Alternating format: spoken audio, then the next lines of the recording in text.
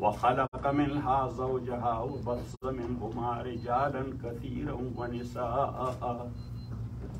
فاتقوا الله الذي تساءلون به والأرحام.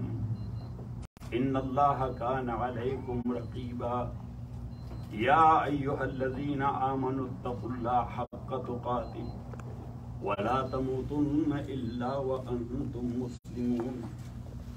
يا أيها الذين آمنوا اتقوا الله وقولوا قولا سديدا. يا أيها الذين آمنوا اتقوا الله ولتنظر نفس ما قدمت لغد. واتقوا الله إن الله خبير بما تعملون. وقال رسول الله صلى الله عليه وسلم يا معشر الشباب من استطاع منكم الباءة فليتزوج فإنه أغض للبصر وأحسن للفرج. ومن لم يستطيع فعليه بالصوم فإنه له وجاء. صدق الله وصدق رسوله النبي الكريم. If you can put the chairs here and you will sit on, that will be good.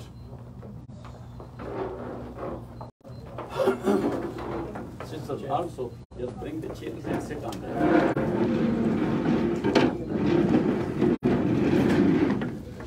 My dear respected brothers and sisters, first of all, I would like to make a dua that Allah subhanahu wa ta'ala, we are here in connection to the nikah of our brother and our sister. Allah subhanahu wa ta'ala make this occasion and this ceremony a blessed one. Allah subhanahu wa ta'ala bless the new couple with your rahmah and your mercy. And Allah subhanahu wa ta'ala give them lot of happiness, a precious life, and precious kids and children as well.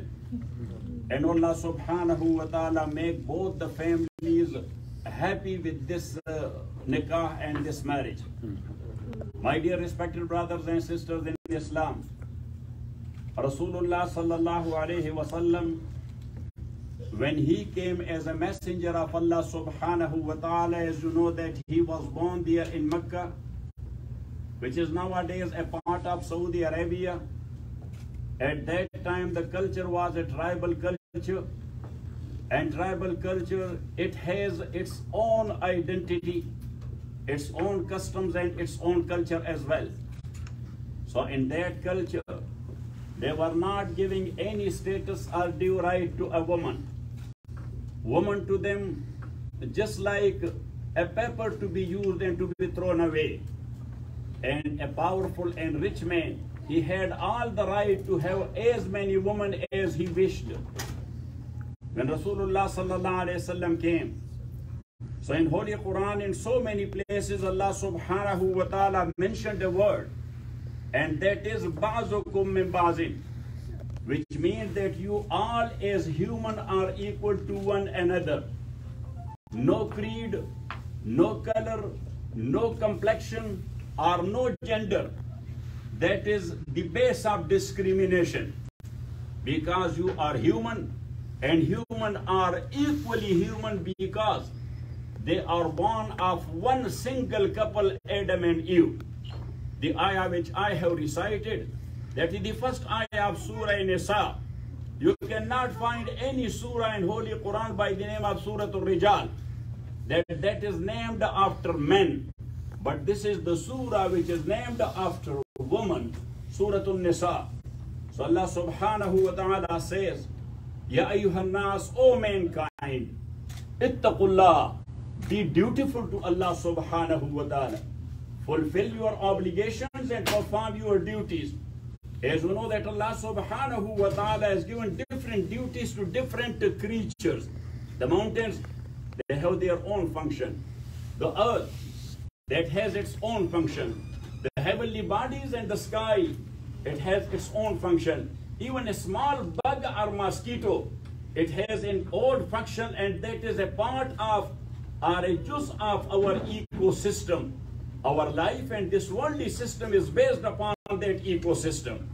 And when every creature is performing its duty properly, the life will be going on smoothly. If we are playing games with nature or we are tempering the nature, the after effect we will face. As you know that nowadays you are hearing a lot about global warming, where from it came. That came because of our own doings.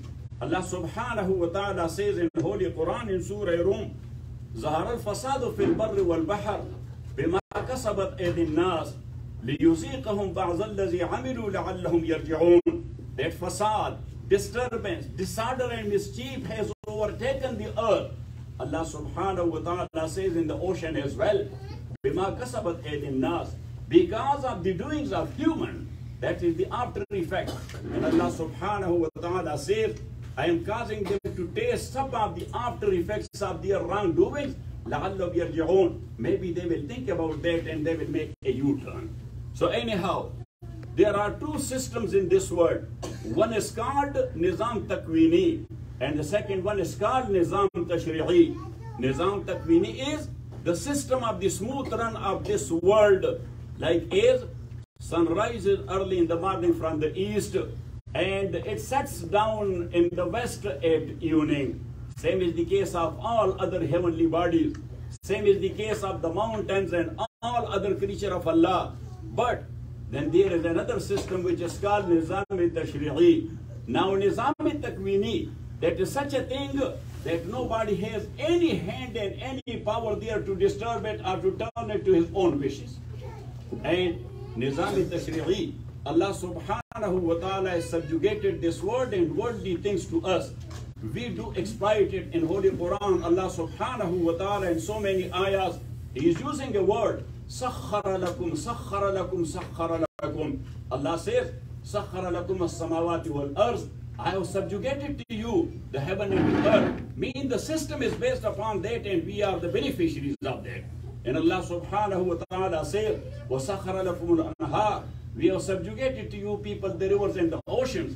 وَسَخَرَ لَكُمُ الْفُلْكِ لِتَجْرِيَ فِي الْبَحْرِ بِأَمْرِ اللَّهِ And another ayah لِتَبْتَغُوا مِنْ فَضْلِهِ Allah subhanahu wa ta'ala say, I subjugated to you the rivers and the oceans, so you may sail therein, your boats and ships, لِتَبْتَغُوا مِنْ فَضْلِهِ To grab a much more provision for you through businesses in the ocean, because since the very beginning, the, the major part of business is taking place in the ocean. So that's what Allah subhanahu wa ta'ala mentioned. And Allah says, وَسَخَّرَ لَكُمُ الشَّمْسَ وَالْقَمَرَ دَائِبَيْنِ And we have subjugated to you, mean for your benefit, the sun, the moon, and the stars as well. وَآتَاكُم مِّن كُلِّ مَا سَأَلْتُمُوهُ And Allah subhanahu wa ta'ala has given you whatever you need in your life.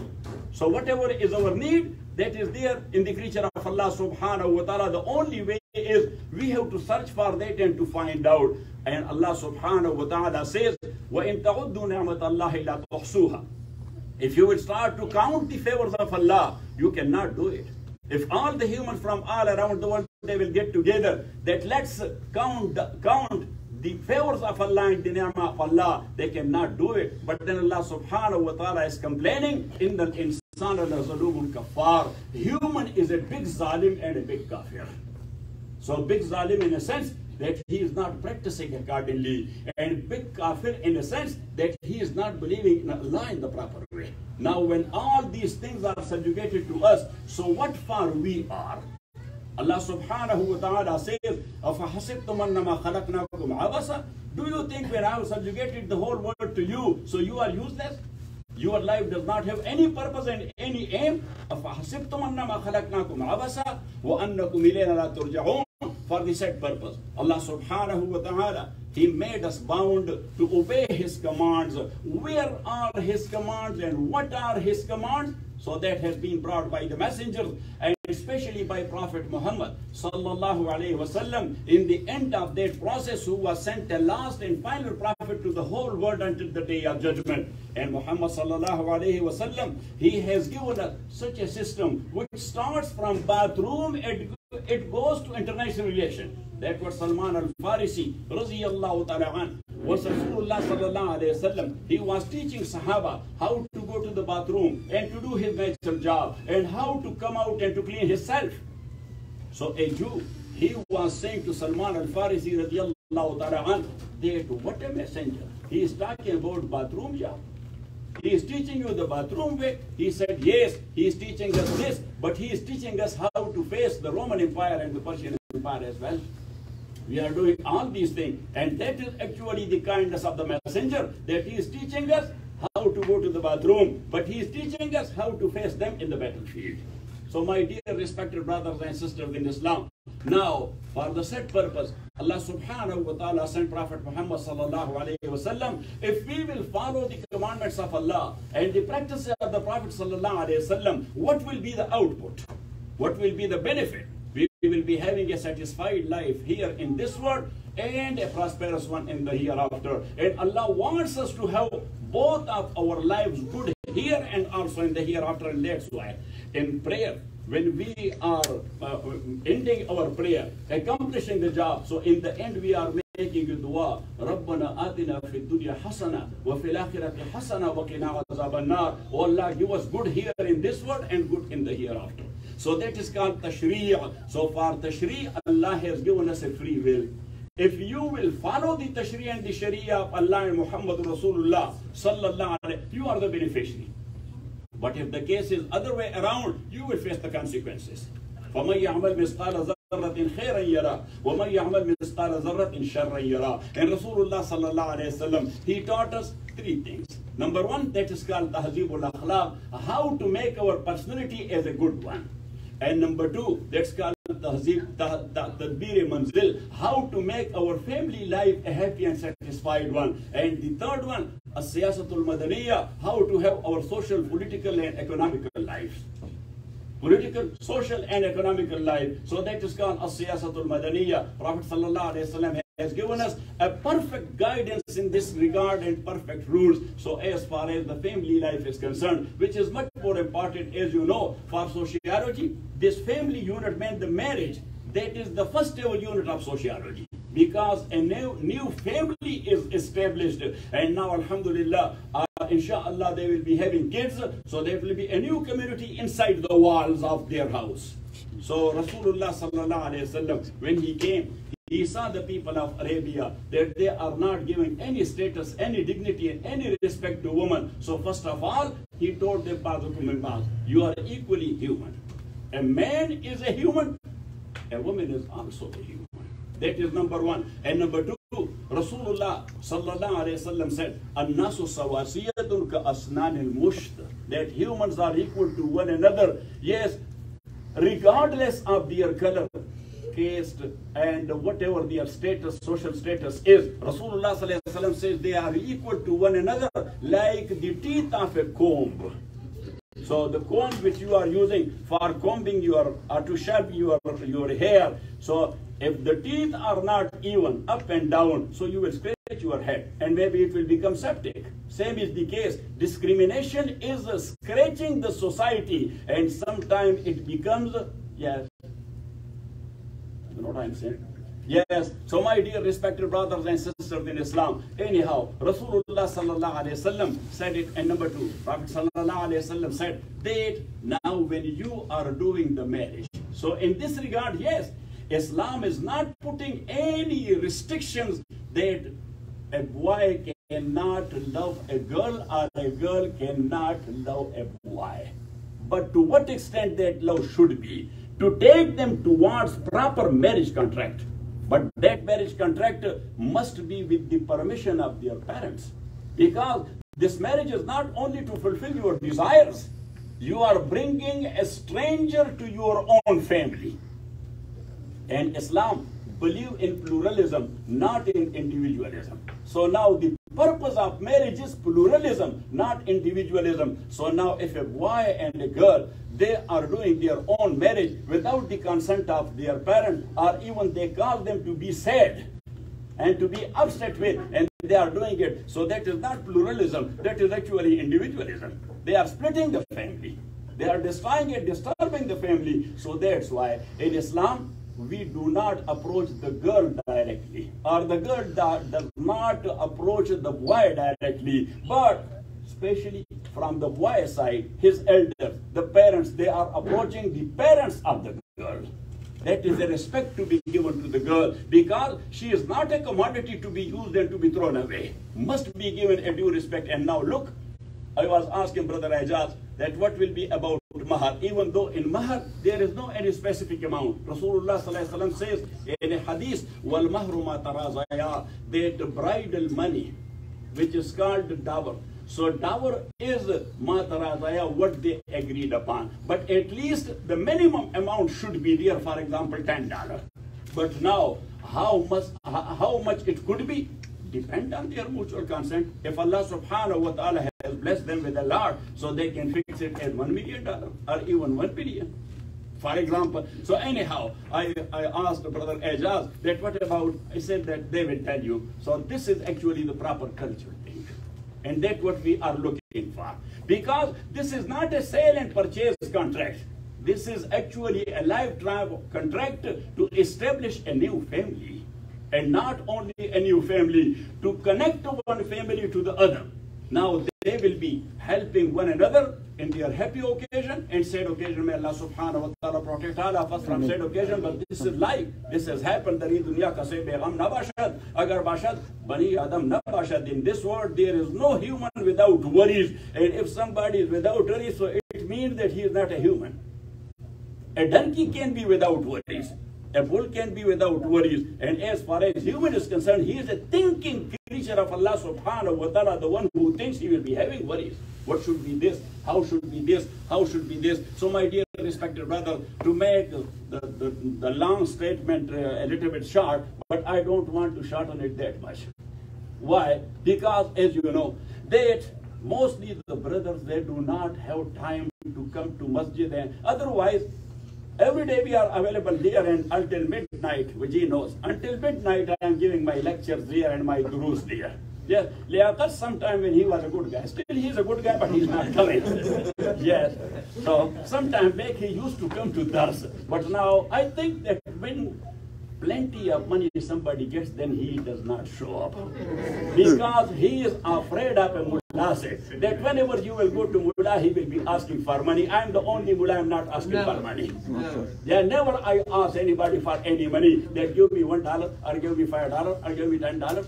Yes, even for my masjid, we have fundraising only once in Ramadan. And at that time, when I give a little bit speech, so then I say, Waji knows, then I say at that time, because people then they put their hand in their pocket to bring up. I say, no, just hold on. Hold on. If you are giving it, your heart says that you are giving it for Allah subhanahu wa ta'ala, not because you are ashamed of these brothers who are sitting around that why he is not giving anything. So he said, if you have any reservation, bring out your hand empty. And that money which you have, when you are going there, just go to Costco and buy some stuff for your, for your family. And don't give it to the masjid. So my dear respected brothers and sisters in Islam, the thing is that certain brothers, they can attend only a nikah ceremony or a janazah. So that's why I prolong my speech in janazah and also in marriage. Because we can grab dear such like brother who are not coming that frequently to masjid. Yes. yes? And we have to give them something and we are giving it for free. Well, you know, sometime I say in my dars there, in my lectures there, maybe tafsir dars or hadith dars or inheritance dars or philosophy dars or logic dars or whatever. So I say to the students, because they are working like you people, but at night they are coming until midnight, they are taking classes. So I tell them, I don't have money, otherwise you are giving time here in America, back home in Pakistan, India and those countries, for example. There, a student has to be obliged to his teacher that he is teaching him. But I say that here the life is totally different. Here the teacher must be obliged to the student that he is coming to study deen. So I'm telling them, I don't have money, otherwise I was supposed to give you $100 per hour for every lecture. Allah So my, if Allah will give me that, yeah, sometimes I give them, but only five, five dollars. You gave me. Yes, yeah, I give to everyone. But if Liaqat start, I will give him as well. yeah. So my dear, because still he needs some more money. Once upon a time. Okay, so anyhow, my dear respected brothers and sisters in Islam, Rasulullah sallallahu says, now a woman in nikah or marriage contract must be given a due respect. So what is that respect? First of all, that her parents must be approached. As the culture family, they approach the Ijaz and they approach the Ijaz family, yes, to ask for their daughter. That is the culture thing. That's what Islam says. And number two, not only that, the second thing is that even though the boy and the girl both are marrying one another, or one of them is marrying the other, see, both of them they are marrying one another. But to give a due respect, keeping in view the historical background at that time, Rasulullah sallallahu said that the bridal money must be given by the boy to the girl. That uh, this is not a price because yes, our daughter, mashallah, she is a nice girl and she is the daughter of Ejaz. All of you, you are nice people, nice brothers and sisters. If a woman or a man if he is a crippled one, that he cannot move or she cannot move, still the whole world cannot be a prize to that crippled human because human is not a sellable commodity. So this is actually symbolic as Allah subhanahu wa ta'ala says, وَآتُوا النِّسَاءَ صَدُقَاتِهِنَّ نِحْلًا And give woman their bridal money or mahar as a mark of respect. Now to give you an example, your kids are going to school or not? Say, Yes. Your kids are going to school or not? Yes. To elementary or middle or so and so on. Sometimes the teachers only to encourage them furthermore, they are giving them some awards or not? Yes. So what is award? A paper. What is award? Paper. A paper. How much will be the price of that paper? One penny or two penny? No price. No price. Don't, if you are selling that, nobody will give you one penny for that paper. But how happy you are and how happy the whole family is that they are sometimes slaughtering the chickens, making a dawat for their friends, and for example, spending two, three hundred dollars for that paper. Why? Because it is symbolic. That is not for price, that is symbolic. Same is the case here, that mohar is a symbolic to give respect to the girl concerned. That is number one. And number two, Rasulullah says that this is a contract like all other contract. You are going to Costco, you are buying milk and sugar and things like that or not? Say, yes. Yeah, but you give the money. Yes. And they give you the stuff. Yeah, but here that is not the case. Even though this is a contract, here you need two Muslim witnesses. Rasulullah sallallahu alayhi wasallam says, لا يصح النكاح إلا بحضور شاهدين عاقلين بالغين. There is no room for such a nikah where there are not two Muslim witnesses to testify that. Got it? So two Muslim witnesses, further dignity and respect to the contract of nikah. You got it?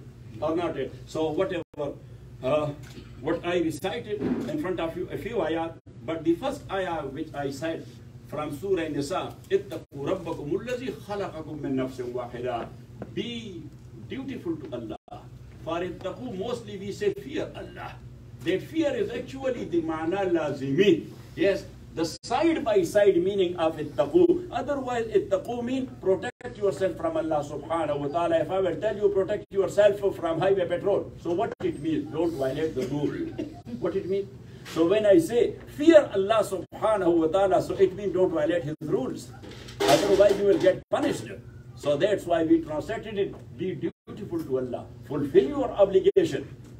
الذي خلقكم من نفس واحدة the one who created all of you from one single soul Adam عليه الصلاة والسلام وخلق منها زوجها and from him or from that nafs Allah subhanahu wa ta'ala created his couple and the mufassirin and muhaddisin and fuqaha and philosophers of Islam they are saying that actually the woman is a part of man because she has created by Allah subhanahu wa ta'ala from the left rib of Sayyidina Adam alayhi salatu wa salam. And as you know, that on both sides we have ribs, on right side and on left side. But which side of the ribs is close to our heart?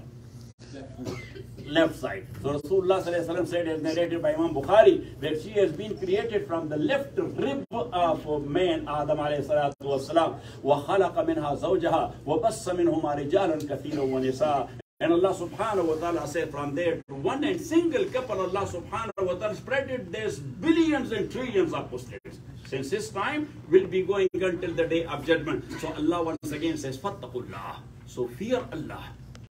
Fear Allah. Allazi tasa'aluna bihi. The one who was asking him or you are asking his in his name. Because sometimes we make dua, so we say, oh Allah give us. And sometimes we make a request to our brother Ajaz or anybody else, so we say, for God's sake, don't do that. So Allah says, when you are presenting my name to somebody else, why you don't have fear of mine? And look, Allah subhanahu wa ta'ala clubbed together arham with himself that have my fear and have fear of relation. So what it means, do not disconnect your, your relation with someone. If you are related to someone, that is something natural. Why you are disconnecting it? Rasulullah sallallahu alayhi wa said in a hadith, Sil man qata'aka. Connect with that relative who is trying to disconnect you. So you should loosen the rope, not to get broken. He is trying to cut it, but you should loosen it. Yes, and he is going on his way, so you should follow him. So the, the, the, the, the, the habl or the Rassi or the rope must be intact. Silman qata'aka wa'afu amman zalamaka. And Rasulullah said, if somebody has done wrong to you, just forgive him. Yes, وَأَحْسِنْ إِلَى مَنْ أَسَى إِلَيْكَ And do good to someone who has done bad to you. That's what the Muslims are. And that's how a human is. Imam Sadi, rahmatullahi alayh, once he came from Shiraz to Asfahan. So he met somebody in the bazaar. He asked him, I want to stay here in Asfahan for a few days, but I want to know the nature of the people, how to live in a good way here in Asfahan. So can you tell me about the people of Asfahan, what type of nature they have? So they said they have very good nature. He said, just explain it. He said that they do not forget the ihsan and the good of anyone. Hmm. If somebody will do good to him, they want to reciprocate. They want to recompense him. So Imam Sadi, he looked down and then he said, oh, like the donkeys in Shiraz. So he said, what do you mean, Imam? He said that you can see two donkeys in hot weather. They are standing beside one another. This one is scratching his body and that one is scratching his body. So they are doing the same, good for good. That is donkey nature. So he said, but the people of Asfahan, they are very ghairati. He said, what do you mean? He said, they don't forget the evil of someone, they take revenge. So Imam Sadi said, oh, like the dog of uh, Shiraz. He said, what do you mean? He said, a dog bark, the other one bark as well. This one bite, so he bites in recompense. So he said, can you tell me that what's the good quality? So he said that neki babadle neki kare kharanas. Good for good, that is the nature of donkeys. And bad for bad, that is the nature of dog. And good for bad, that is the nature of human. So may Allah subhanahu wa ta'ala make all of us human. So anyhow, to make the long story short, Allah subhanahu wa ta'ala said, وَاتَّقُوا اللَّهَ الَّذِي تَسَاءَلُونَ بِهِ وَالْأَرْحَامَ إِنَّ اللَّهَ كَانَ عَلَيْكُمْ رَقِيبًا And the hadith which I have narrated, Rasulullah sallallahu alayhi wa sallam said, that ya ma'ashar al-shabab, all the youth and the young, man istata'a minkum al-ba'a, who can afford to do marriage? Man istata'a falyatazawwaj, so he must do that. فإنه غض للبصر, it will control his sight, وأحسن للفرج, and it will protect his chastity.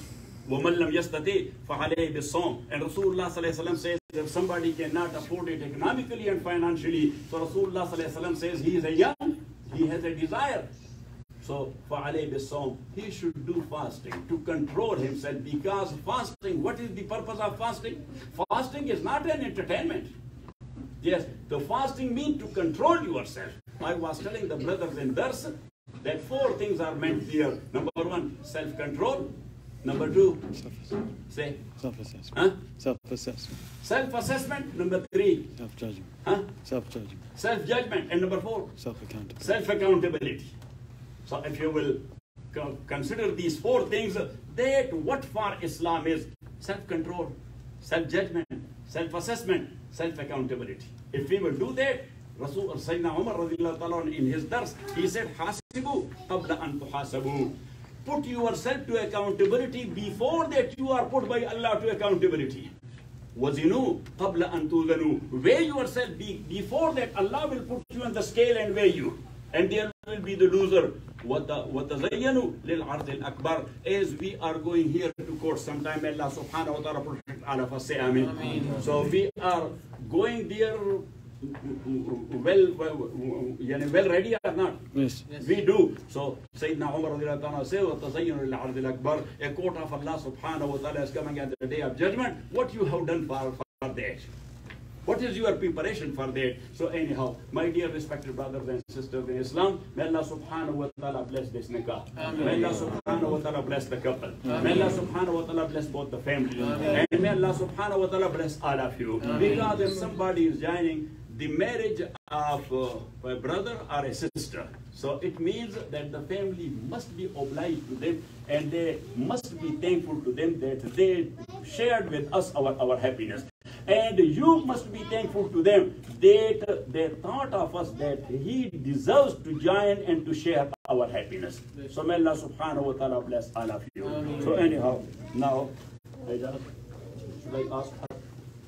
Yes. What is her name? Sana Ejaz. And our brother, the groom name is Hussein Ali Mukhtar. That is you. Yes. And what about the Mahar, I asked him, so he said that you should ask them. Yeah. Huh? How much? It's 4,000 and um, 8,000 and uh, 8,500 8, in gold. In gold. Yeah. So altogether 12,000 and 12. Yes. yes. بسم الله الرحمن الرحيم وصلى الله على النبي الكريم محمد وآله وأصحابه أجمعين My daughter Sana Ejaz, have you, uh, and who will be the two witnesses? I said.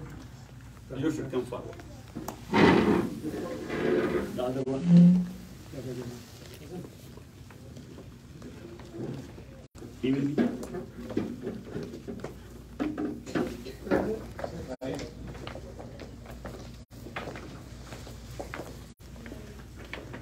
So what's your name?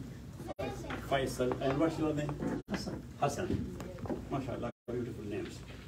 So anyhow, my daughter Have you given yourself by way of Islamic nikah with the bridal of 4,000 in cash and 8,000 and a half in shape of gold to our brother Hussein Ali Mukhtar in the presence of our brother Faisal and our brother Hassan? You should say yes, I do. Brother Hussein Ali Mukhtar, have you accepted our daughter, Sana Aja? She is my daughter. Yes, because all those who are of that age, so they are my daughter. Those who are equal to me in age, they are my sister. Those who are older than me, they are my mother. So anyhow, have you accepted Sana Ejaz, the daughter of our brother Ejaz Ahmad, by way of Islamic nikah with the bridal money of 4,000 American dollar in cash and 8,000 and a half dollar in shape of gold in the presence of these two Muslim witnesses, brother Faisal and brother Hassan? Yes, I do.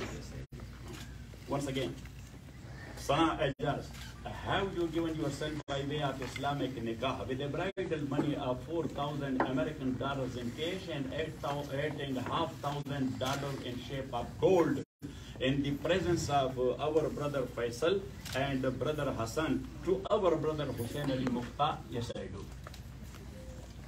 Brother Hussein Ali Mukhtar, have you accepted Sana Ejaz, the daughter of Ejaz Ahmad, with a bridal money of 4,000 American dollars in cash and eight and a half thousand dollars in shape of gold by way of Islamic nikah in the presence of our these two witnesses, brother Faisal and brother Hassan? Yes. Yes, I do.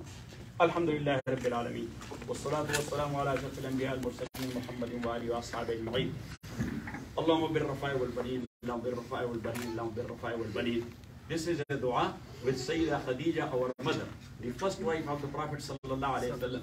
When Rasulullah sallallahu alaihi wasallam once he came and uh, he She said to Khadija that today Jibreel came to me and he informed me about something. So she said, What is that? So Rasulullah sallallahu alaihi wasallam told her that the wife of Fir'aun Asiya radiallahu ta'ala anha, she was a Muslim, a Mu'mina lady. And the mother of Isa alayhi salatu wasalam, Sayyida Maryam, and the sister of Musa alayhi salatu wasalam, these three will be in my nikah in Jannah. So now as you know, that sorry to say that, so, but that is you when that woman does not like a sokan. You know sokan? You don't know in Urdu? Yes. Two wives of the same husband are called sokan to one another. Yeah? And that is actually the base of enmity. They don't like one another. Because they share the husband. So that's why they don't like. But Sayyidah Khadija radiallahu ta'ala, she said, Allahumma bi al baneen, Allahumma bi al baneen. That may Allah subhanahu wa ta'ala give you a happy life with them. And may Allah subhanahu wa ta'ala give you five kids, even though there are no kids in Jannah. But that was a dua Rasulullah sallallahu was doing for a new marriage. So we are doing the same dua for the new couple. Allahumma bi والبنين اللهم بالرفاع والبنين and whenever Rasulullah sallallahu alaihi wasallam he was salamizing in nikah so after nikah he was he used to say barakallahu lakuma wa barakallahu alaykuma wa jama'a bainakuma bi khair that may Allah subhanahu wa ta'ala have his barakah on you both and may Allah subhanahu wa ta'ala keep you both together with his mercy. So that dua Rasulullah sallallahu alaihi wasallam, we are doing that as well. Allah subhanahu wa ta'ala give them happy life. Oh, Allah subhanahu wa ta'ala make this couple a blessed couple. Amen. Oh, Allah subhanahu wa ta'ala bless them with a happy life and also with nice and wise kids. Amen. And